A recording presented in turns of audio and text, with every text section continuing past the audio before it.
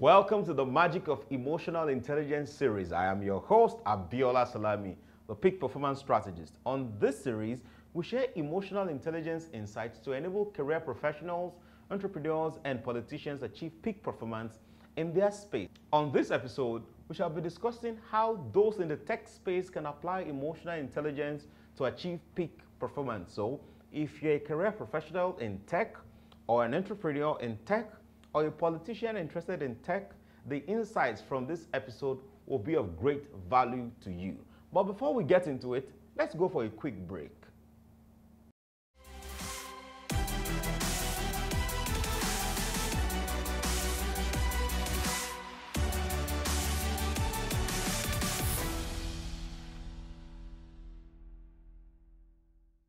Welcome back.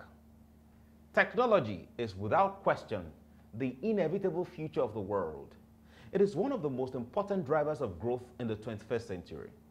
Tech has seen this generation soar to great heights only imagined by those in much earlier eras. The fast-paced speed of innovation and the attendant disruption that we have witnessed in real time gives credence to the power of the digital age where almost anything is possible. Being a chief technology officer for an organization is a very critical role and it places huge responsibility on any such person to not just position the organization in a strategic niche in the tech universe where it exists, but as to steer it towards new worlds of possibilities. Empathy then becomes an indispensable trait for navigating these dynamic paths and achieving top level performance with the available human and material resources.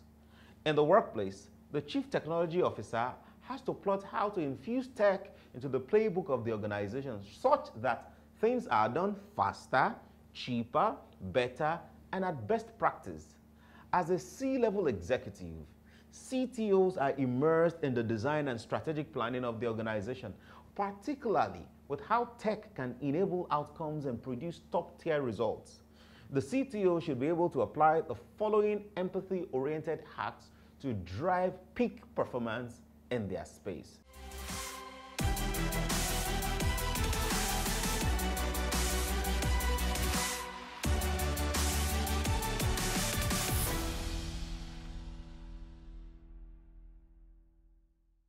Number one, paying attention to every data point.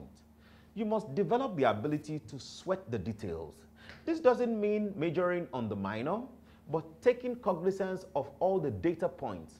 The very first thing every CTO should have is a proper grasp of data. And it takes a great deal of both self-awareness and organizational awareness to do so. The most important numbers of every organization should be laid out and analyzed by the CTOs for proper planning. Remember, as CTOs, what you don't measure, you cannot manage. Taking stock of the available resources, the capacities and assets helps you to know the existing arsenal while projecting the potential for expansion and growth. Although your primary focus as CTO is on tech as a vehicle for driving growth, but a proper humanware and hardware audit helps you to put expectations in perspective. CTOs cannot be data averse, whether in qualitative or quantitative forms. Data must be determined, analyzed, and deployed when executing ideas.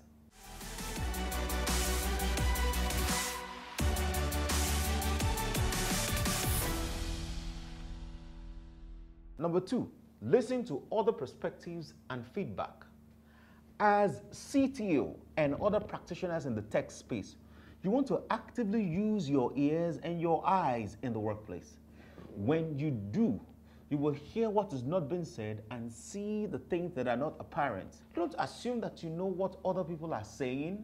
You can even ask questions to better grasp what they mean.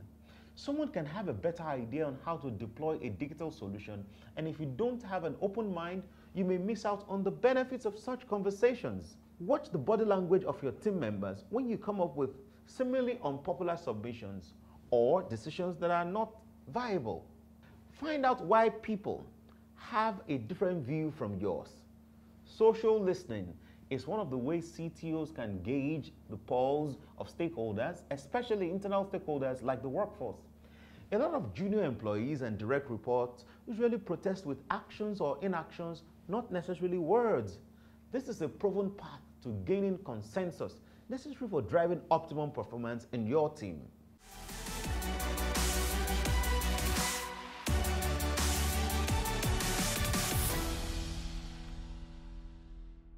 Number three, adopt appropriate work tools.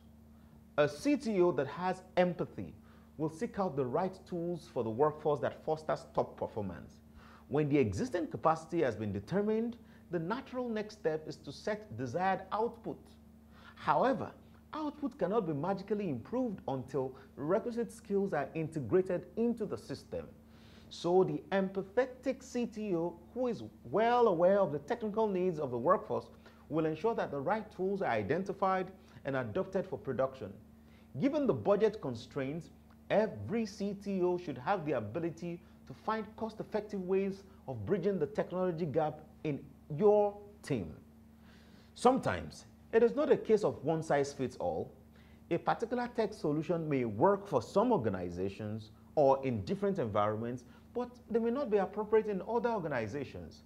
This may be because certain tools work best at certain scale. For example, it will be counterproductive to deploy a tool that is designed for a 1,000 person workforce for a 100 person workforce.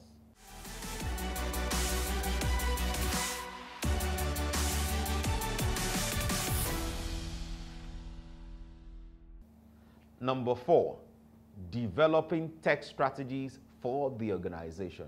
You see, empathy, in a sense, is the ability to interpret another person's feelings, emotions, and in this case, aspirations. Every organization has an overarching vision, a blueprint of what it wants to achieve and where it wants to be in the foreseeable future. The empathetic CTO should then take that achievement orientation and craft a custom digital infrastructure that will contribute to the realization of that corporate vision. The CTO should determine to which extent tech will play a part in product development, payment processing, security of assets, and other areas that tech is needed.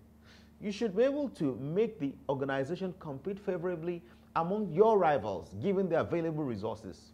Invariably, CTOs should play an active part in research and development.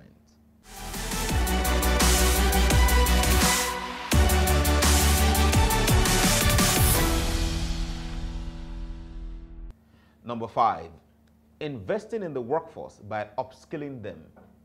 Empathy is realizing that you cannot expect certain results from your workforce without first empowering them to operate at the desired levels.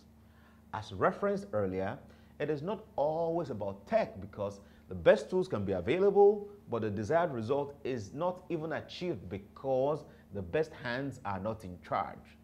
The unwritten law of innovation suggests that from the moment something is being invented, it is already from that same moment becoming obsolete. So if the CTO doesn't have empathy and is constantly pushing the needle from a human resources standpoint to ensure that your team members are on the cutting edge of the requisite knowledge, your organization will easily become obsolete to the market you are serving.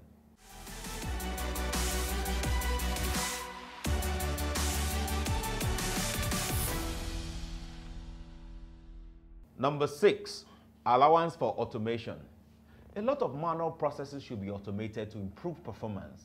There is nothing to be gained by allowing manual processes to be used by the workforce where machine can handle such. It, it rather shows a lack of empathy. One of the reasons most organizations are not operated at peak levels is because a lot of effort is devoted to aspects of the production process that although important, but can be automated.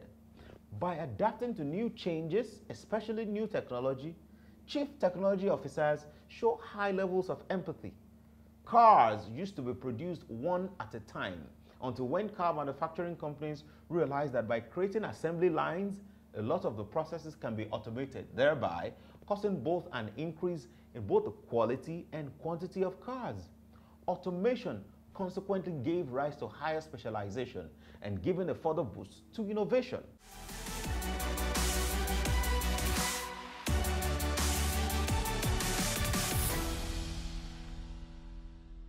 Number seven, create custom clusters to coach teams.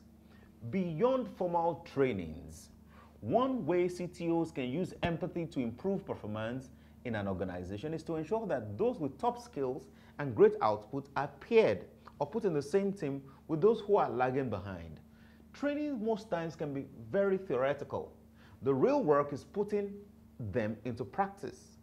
And by using a coaching and mentoring model, skills can be easily and quickly transferred within an organization and at little or no cost. This cross pollination of ideas is critical, not just to team performance, but for team bonding. Technology adoption requires a hands on approach if it is to be successful. Literally, on the job interactions over time move the competence level of organizations to new heights.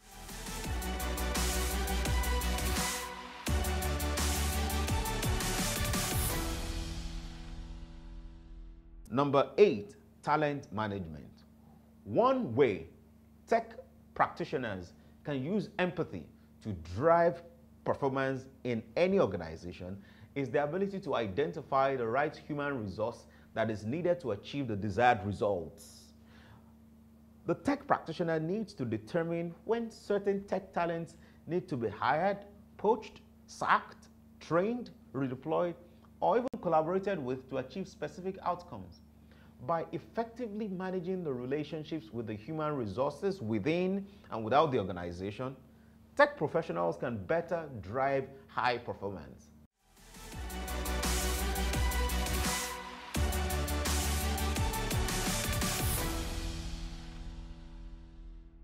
Number nine, take prompt action on market intelligence.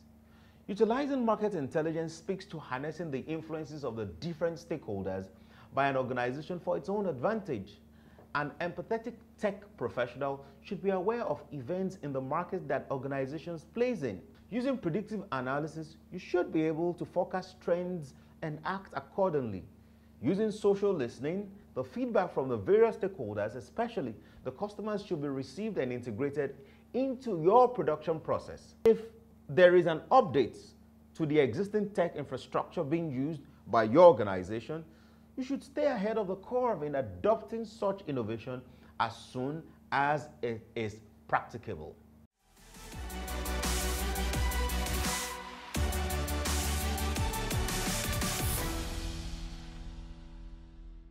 Number 10, incentivizing your workforce. Tech leaders should put both inspirational and aspirational leadership in place where financial bonuses and other perks are directly tied to measurable performance. It is established that one of the reasons many staff members don't give their all is because certain organizations operate on mediocrity instead of meritocracy. Nobody needs to be tossed down on their deliverables when there is a clear reward for productive behavior. This is an empathetic approach because it speaks to the enlightened self-interest of humans. When people draw a straight line from the collective success to their individual success, they go all in.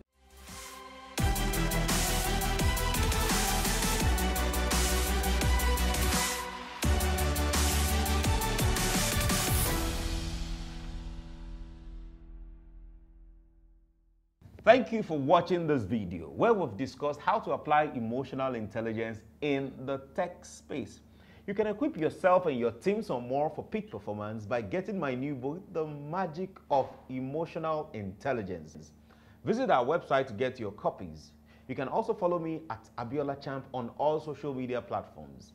For coaching, training, speaking, and collaboration inquiries, please send us an email to hello at abiolachamp.com. Until I see you on the next episode, keep rocking your world like a champion.